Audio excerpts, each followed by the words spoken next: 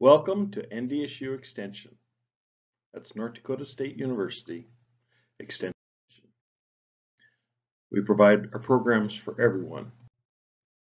Today's program is Background in Cattle, Fall 2021, a series for cattle producers looking at backgrounding their cattle. Today's talk will be Feeds, Alternative Feeds, and Cost of Gain by Karl Hoppe, Extension Livestock Specialist located at the Carrington Research Extension Center, a part of NDSU. Our new crop calves in 2021 are on the ground and are being presently weaned and the weather has changed and we're looking forward to a new feeding season. Of course, that brings challenges. So that um, we have to consider what happened last year and I always have to comment that our feed prices continue to follow the corn price and it might even be higher because of the drought that we had in 2021. As you can see in this picture, our corn crop was pretty small and people even turned cows out on their field just to have something to eat. And it's been a challenge for us uh, cattle producers in North Dakota, but uh, we move on and I'd just like to go a little walk through history here. in 2017, our corn prices were actually less than $3 a bushel, and that drug the rest of our other feeds down as well. Alfalfa hay was $80 a ton, grass hay was at 65, wheat mids were around 95. Uh, we had barley malt sprouts at that time at 115. Our corn price was around $3, $30 a ton, and canola mills at 186 a ton, and dried distillers was on par at 113 per ton, all based off the corn price. So that was in 2017, a near um, four years ago. So now uh, let's, or five years ago, now let's look at what happened in 2018. Prices remained almost the same. 2019, corn price moved up a little bit, maybe 30, 40 cents, and all the rest of the feeds increased accordingly. In 2020, uh, feed prices remained somewhat the same. So just when you think you've got a trend going here of years of lower feed costs for cattle, 2021 shows up and our price of corn is 575 a bushel. That's because of national demand, and not because of the local drought, just because of national demand. Now, alfalfa hay has increased up to $175 a ton. Even some places it might be $200, $250 a ton, depending upon the quality of the alfalfa. Um, grass hay is $120, $125 a ton. Uh, wheat middlings, 190. Soy hulls is a new product available in North Dakota because of the processing industries are making it more available, and there's more of them in North in the North Dakota region, and it's being priced at 165. Uh, corn silage, uh, $55 a ton, just because our corn price has gone up. The canola meal is surprisingly somewhat constant from previous years, but dried distillers grains has increased correspondingly, just like the way corn has. So this year our feed costs have increased. Drought makes it a difficult year and we have been struggling for feed for cattle producers that uh, were out of feed. They probably sold cows, they weaned off calves early, fed them early. This particular program really focuses on the fall weaning cows, the ones that um, scraped by with enough feed, worked on their harvest, and now that the weather has changed somewhat in November, uh, weaning is now progressing on these April-May born calves. One thing I got to note in North Dakota is that we have a lot of different crop processing plants across the state. We have corn distilleries for making ethanol, which creates the byproduct corn distillers grains, located throughout North Dakota as well as into South Dakota.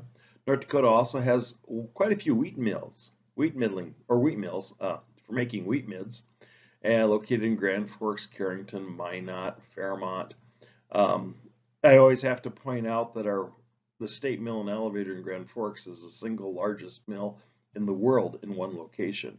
That just underscores how much uh, wheat middlings are produced out of that plant and mostly shipped out of state. Uh, we have uh, um, uh, sugar uh, factories uh, processing across the state, it, mostly in the Red River Valley, but some out in Sidney, Montana. these particular uh, plants produce uh, beet pulp, usually wet. They can also produce beet tailings, but a lot of that's being now moved up to Grand Forks to the ethanol refinery that's specifically made for uh, fermenting uh, the sugars out of beet tailings. And of course, we have a couple of potato processing plants, and we have um, a wet corn milling facility down at Wahpeton. We just have a plethora of processing co-products available in North Dakota. A lot of those are being shipped out of state, but we do have some local demand, and they're create an opportunity for us for cattle feeders in North Dakota. I said earlier, here's a description of what we actually have. We've got five plants that produce distillers grains. We have five mills that produce wheat middlings. We've got one in-state plant that produces soy hulls. Uh, we have one plant that produces corn gluten feed. These are all high, moderate protein, 30, anywhere from 18 to 30% protein. Soy hulls around 12%. Um, and these are all have uh, highly fermentable fiber. All the starch has been removed for the most part. And what's left over is fermentable fiber. We do have, like I said, beet tailings and beet pulp, and we do have a wide variety of meals available, like canola meal, linseed meal, sunflower meal, corn gluten meal, and soybean meal uh, available for feeds if we need protein addition to the rations. Uh, these are all co-products. These are things that are produced by our plants. Of course, we have uh, protein sources on our uh, that we produce on farm, like soybeans or alfalfa hay or sunflowers. Those are all, or field peas and lentils are all play things that can produce protein as well as energy on farm and should be considered in a ration.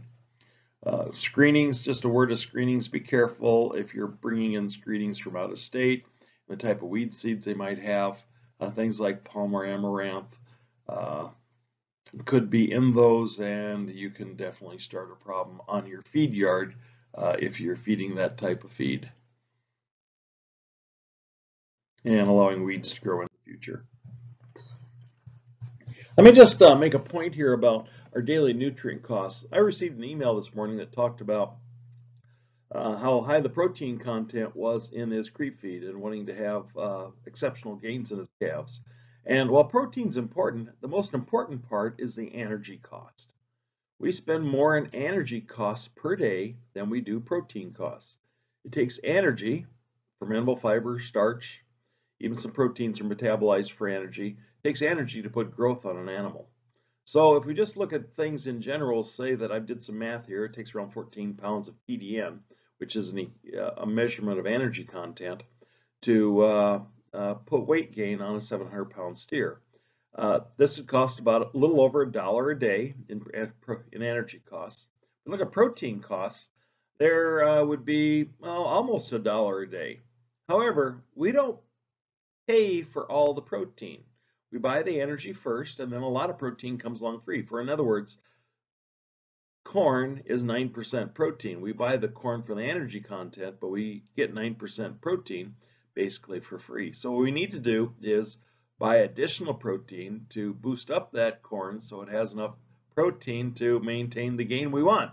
There's a lot of words to say, but really, uh, when we're feeding that type of ration, we need to provide another six tenths of a pound of crude protein. And if we do the math, the cost per pound of protein at 42 cents, it means we need to provide an extra 25 cents a day in protein costs. So it costs a dollar a day for the energy and another 25 cents for additional protein.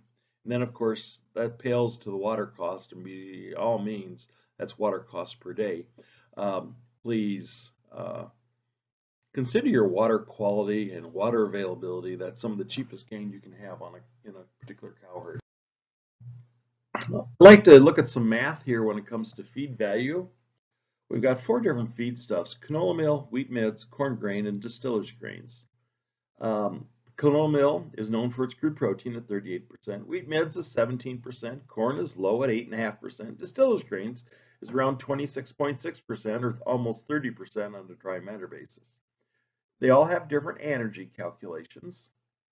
Um, distiller's grains is actually high since it's got uh, uh, some fat in it, uh, more than what corn grain would.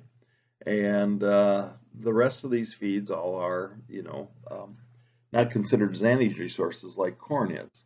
There's different costs. So we see canola mills $255 a ton, which hasn't changed. Wheat midds are now up to 190. Corn grain at 206 and distillers at uh, $230 a ton. So if we're looking cost per pound, um, our cheapest feed is going to be this year wheat midds. Look at cost per pound of protein, our cheapest feed obviously is canola meal. That's what we buy it for, is for its protein. But if we look at cost per pound of energy, our cheapest source again is wheat middlings. Although corn and distillers grains are ranked right in there side by side as being somewhat competitive uh, as an energy source. That's why distillers grains is used as a high percent a lot of our rations. Please let me talk about feed issues for fall 2021. Our biggest issue this year is how drought affected our feeds. Nitrate accumulation has occurred, may have decreased, but be sure to test your feeds for nitrates, the forages. The grains you don't need to, but the forages certainly do. The co-products probably don't need to measure those as well, but any forage that was raised on farm should be tested for nitrates this year. And if it's over 1,500 parts per million nitrate nitrogen, it should be decreased. It should be diluted with other feeds that are lower nitrate nitrogen. Uh, high nitrates can lead to uh, basically death. And in pregnant cows, it can lead to aborted fetuses. So nitrates are not to be uh, ignored when it comes to rations. Be sure to do a feed test to find out where yours are at and try to feed under 15 so the average of the ration delivered to the cattle is under 1500 parts per million nitrate nitrogen.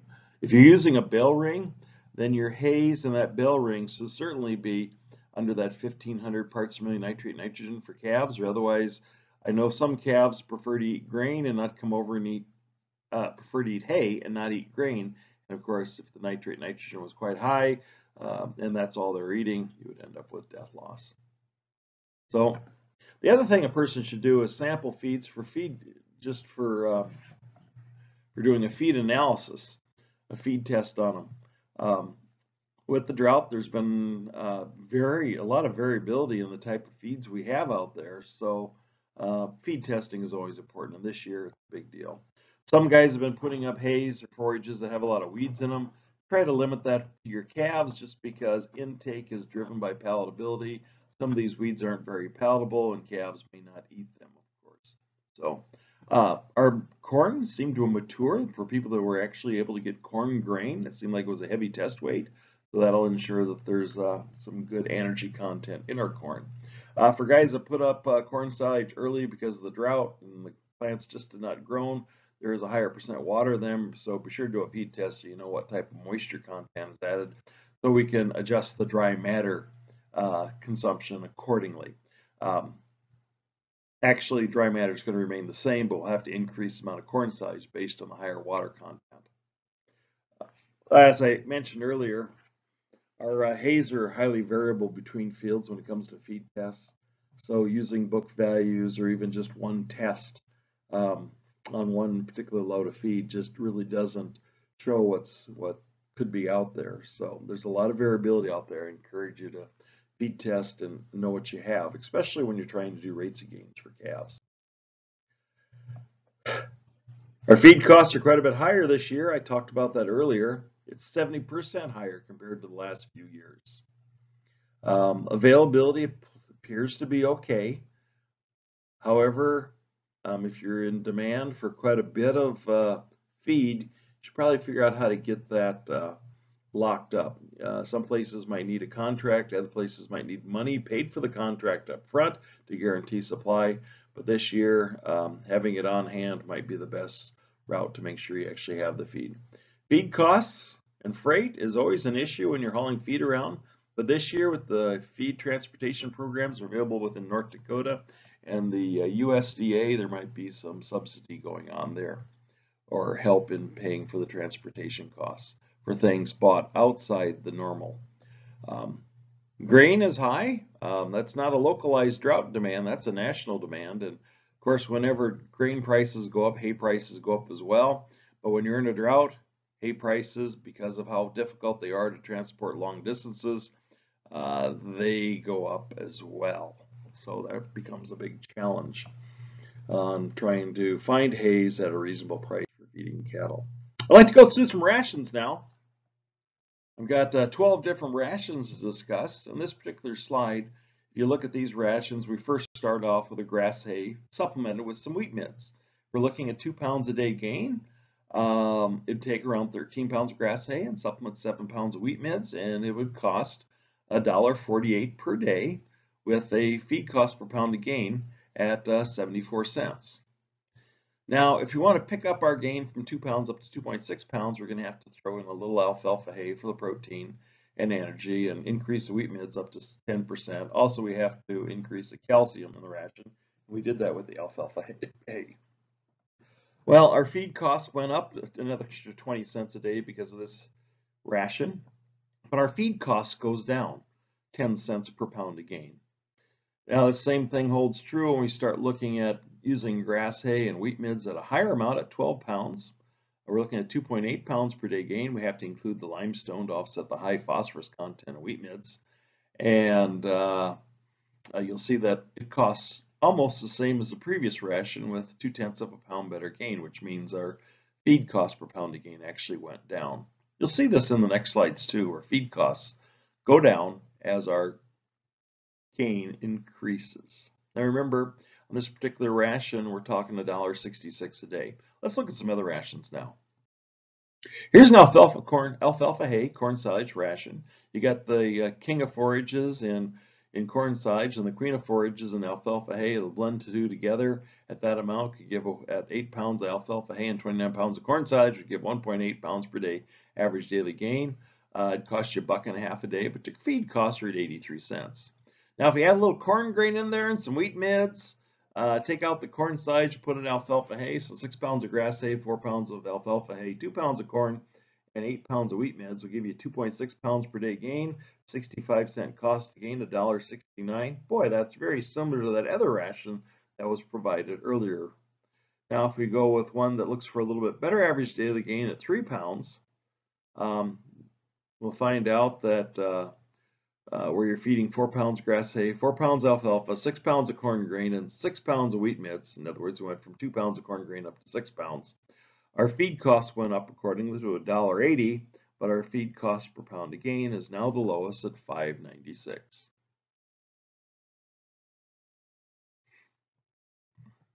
Another ration we have here is just a dry ration of alfalfa hay and corn grain. 13 pounds of alfalfa hay with 7 pounds of corn grain, Gave us a 2.3 pounds per day gain, 77 cent cost to gain, $1.86 per day. Ooh, that's getting kind of expensive. Well, now let's look at a ration that we don't have much for grass hay or other feeds. We're just going to use alfalfa hay and corn grain. And when we're feeding that amount of corn grain, we have to provide an additional protein supplement. And a bagged feed works quite well for that. 3.2 pounds per day gain, which is pushing these calves along pretty good. Our cost of gain is 696 uh, is 69 cents, which is uh, competitive, but our costs per day are now 230 $2.23.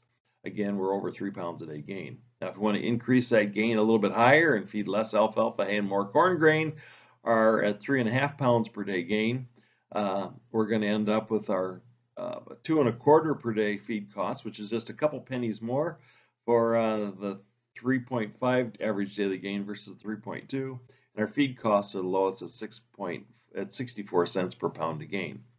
Things to remember, feed cost decrease as energy increases. Excuse me, as the grain uh, increases, in the, or I should say the average daily gain of the ration uh, that provides from the ration is increased. Well, okay, now let's look at grass hay with a little bit of distiller's grains to be added as protein and energy. Now this is a 1.7 average daily gain. It only it's the cheapest at a buck and a half a day, but our feed cost is at 82 cents. Now if we put a little corn into that ration at four pounds and take out some of the hay, we're going to get 2.8 pounds per day gain. $1.73 a day is what the cost is with a 61, 61 cent cost gain. Um, definitely workable, but not our one of our cheaper rations. If you want a little bit better gain at 3.4, uh, we're using grass hay, corn grain, distiller's grains, and limestone. 3.4 average daily gain. Find out this is one of our lowest cost feed per cost to gain. And at $1.86 per day. And that's 3.4. In the earlier slide, we're at three, we're at above threes and it was over two, two and a quarter a day for feed costs. So in this particular example, you can see that going from just a little bit of corn grain up to a little bit more and just changing the dynamics of the ration really improved our uh, feed conversion or increased our average daily gain quite a bit. Just a small difference of adding three more pounds of corn grain and taking out the grass hay. And of course, we had to include limestone to increase the calcium content of this ration because the tillage grains is high in, in phosphorus and corn grain is high in phosphorus as well.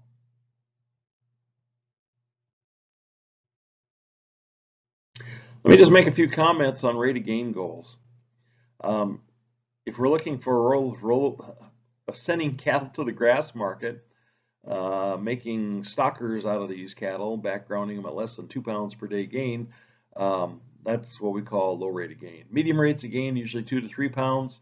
Um, I like to call these as you grow cattle without adding extra fat to them or putting on condition. They just have a nice growth and frame. Once you go greater than three pounds per day average daily gain, if you do that more than 45, 60 days, you're going to end up with uh, calves that got a little bit more flesh to them. And when that happens, you may reduce subsequent feedlot performance, and cattle buyers know that, so they will uh, discount accordingly. However, if you know the genetics behind the cattle, they can do this type of gain without any loss of performance. You need to know um, what what you're buying and know the best way to do that is know the historical performance of cattle and go that direction. If you're going to feed cattle, I always encourage you to target the gain with a balanced ration. As I said earlier, as you increase the protein and energy, you get better feed efficiency and better average daily gains. So one of my examples here is to, if you want three pounds a day for 60 days, that'd be 180 pounds, or we can do it a different way, and that is we want to get a pound and a half day gain for 120 days. It really depends upon what your market weight and date is going to be and how you wish to feed cattle. Sometimes there's changes in the market that allow you to uh, run cattle at a lower average daily gain to pick up a higher price. So even though the feed costs might not be as efficient, the market gain will more than offset that and provide an opportunity for you. And if this is all home raised feeds, uh, then again the cost might be quite a bit lower than it would be if it was purchased out on the uh, market. Just opportunity costs would be uh, what you'd have to consider at that. Always like to have people think about uh, co-products, and I talked about where they're located in North Dakota. If you need an info sheet of uh, where they're sourced at and prices and phone calls to call, please contact your local county extension agent. They should have a list that I put together that they can uh, provide to you. That's your local county extension agent in North Dakota. Um, if you can contract fees, usually there's summer lows that you can work around. Um, anytime you have to haul it long distances, that really reduces your price competitiveness. Uh, although this year with the Transportation Assistance Program, that might make a little bit of difference on uh, what your cost might be. Um, usually we look at high fiber, uh, high fiber, and actually they're good in protein as well when we background cattle. Things like wheat midds and distillers grains work quite well in a backgrounding ration for adding a little extra protein. And since it's not starch-based, they uh, provide extra fiber into the ration as well, which can somewhat limit the gain that we're looking for always encourage you to do a great job of feeding management. That means feed bunks that don't have too much feed left in them but aren't empty as well. Provide some bedding on cold days. That'll make a nice environment for calves. We've got research at the Carrington Research Extension Center that shows that that does affect your feed efficiency and marbling in cattle, uh, depending upon how they've been and how their environment is while they've been growing. Clean water is always a must. If you're going to put calves on feed, uh, please try to reduce the amount of moldy feed you have because that might discourage intake. Obviously, healthy calves grow better than sick calves. Uh, try to look at ration changes slowly. Use step-up rations as an example. Be sure to balance the ration for the weight gain for the weight and type of cattle that you have. And of course, like I said earlier, consider your rate of gain goals.